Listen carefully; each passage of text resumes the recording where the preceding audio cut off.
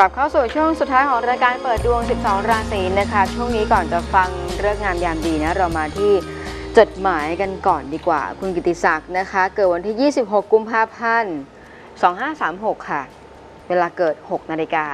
42 นาทีวันศุกร์ถามเรื่องของหน้าที่การงาน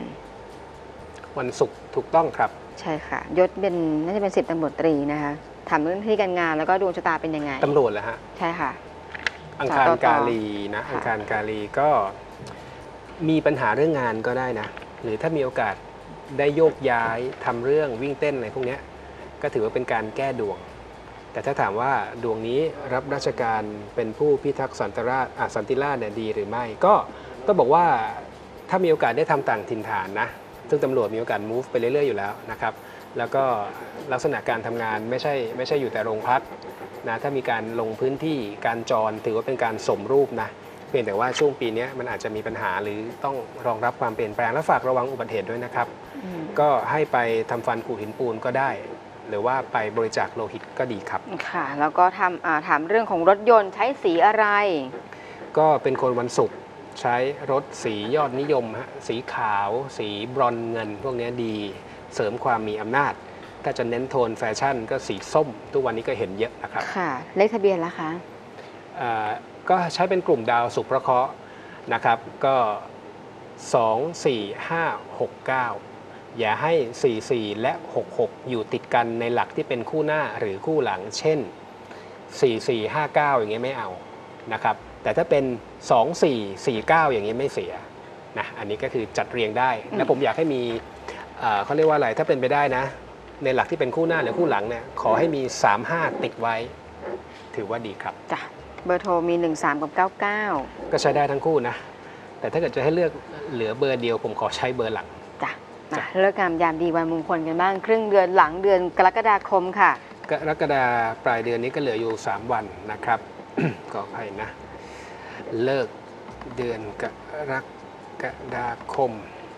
วันที่ 20 นะครับ ก็วันพรุ่งนี้ประกอบการมงคลได้ทุกประเภทเลยนะครับ 17 นาฬิกา 1 นาทีถึง 17 นาฬิกา 30 ดีที่สุด แต่คนที่เกิดวันเสาร์ควรจะหลีกเลี่ยงการใช้เลิกวันนี้ ต่อด้วยเสาร์ที่ 23 ครับ วันนี้เลี่ยงประกอบการมงคลที่ภูเขาเนื่องจากอักขนิโรธตกแต่ที่เหลือดำเนินการได้ 7 นาฬิกา 31 นาทีถึง 8 นาฬิกาคือช่วงเวลาที่ดีที่สุดครับ แต่คนที่เกิดวันพระฤหัสบดีควรจะหลีกเลี่ยงการใช้เลิกวันนี้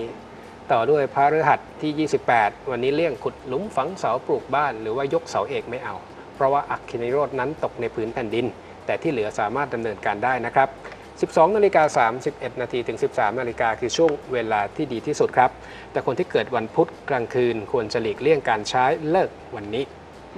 ก็เป็นในส่วนของเลิกษ์งามยามดีนั่นเองนะคะ แล้วก็สำหรับใครที่อาจจะในส่วนของการพลาดชมรายการไปเนอะครับก็เข้าไปที่ YouTube ได้เลยนะคะ ก็พิมพ์ Miracle Channel เว้นวักทีวีไทยแลนด์นะคะ แล้วก็จ้ะฝากด้วยสำหรับ วันนี้ครับนะคะถือว่าเป็นอีกหนึ่งวันสำคัญทางพุทธศาสนานะคะครับช่วงเย็นๆนะถึงอืมช่วงเช้านี่แหละท่านอาจจะแบบไม่ไม่ไปไม่ทันครับใส่บาตรไม่ทันทำบุญไม่ทันช่วงหัวค่ำก็ไปเวียนเทียนได้นะคะจ้ะแล้วก็สำหรับใครที่จะไปมาเจอเอ่อมาเจอมาเจอกันนะวันพรุ่งนี้ก็อีกหนึ่งวันวันเข้าพรรษา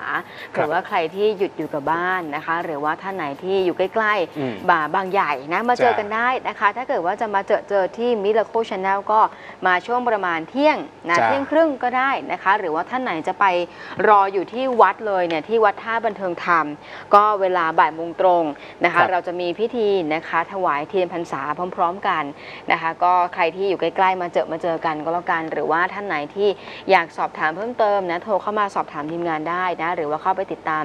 กิจกรรมต่างๆ ได้นะคะที่ Facebook Fanpage ของเรา Miracle Channel TV นั่นเองนะคะแล้วพรุ่งนี้มามาเจอมาเจอกันมาร่วมบุญกันได้ แล้วช่วงของเทศกาลเข้าพรรษาแบบนี้เนี่ยอย่างที่บอกว่ามันเป็นอีกหนึ่งวันดีๆ แล้วก็เป็นจ้ะช่วงเทศกาลดีๆ 3 เดือนนี้ ลดละเลิกนะเราครับได้มีโอกาสได้อยู่ในศีลได้ปฏิบัติธรรมด้วยครับนะแล้วก็ก็อ่าอย่างที่เรียนนะอืมอะไรที่เป็นสิ่งที่ไม่ดีเราค่ะรู้อยู่แล้วนะขอให้ปักหมุดเลยครับ วันนี้เป็นวันเริ่มต้นที่อืมดีจริง ๆสำหรับใครที่อยากจะเปลี่ยนแปลงชีวิตในทางที่ดีขึ้น ไม่มีใครเปลี่ยนแปลงตัวเราเองให้ดีขึ้นได้ นอกจากการกระทำของตัวเอง ค่ะ แล้วก็เรื่องราวของดวงชะตานะนอกจากส่ง SMS หรือว่าโทรเข้ามาลงทะเบียนแล้วนะคะ จดหมาย อีเมล address แล้วก็เว็บบอร์ดนี่ฝากดวงชะตาเข้ามาได้ แต่ว่ากติกาคือข้อมูลวันเดือนปีเกิด เวลาเกิดต้องชัดเจน ครบอืมถ้วนเบอร์ติดต่อกลับด้วยนะคะจ้ะจะได้โทรกลับไปบอกกล่าวกันให้ได้คอยติดตามชมท้ายรายการจะนำมาตอบกันแบบนี้นะคะ แล้วก็คุณผู้ชมติดตามชมรายการได้ค่ะ ทุกวันจันทร์ถึงวันศุกร์8นาฬิกา30นาทีถึง 10นาฬิกาตรง วันนี้ก่อนจะจากกันไปนะคะฝากไว้สำหรับข้อคิดคติธรรมดีๆ ค่ะ สิ่งที่ย้อนไม่ได้คือเวลาสิ่งที่หนีไม่ได้คือความตาย สิ่งที่ซื้อไม่ได้คือชีวิต สิ่งที่มองไม่เห็นคือใจคน สิ่งที่ต้องอดทนคือใจตัวเอง เราสองคนลาไปก่อนสวัสดีค่ะ สวัสดีครับ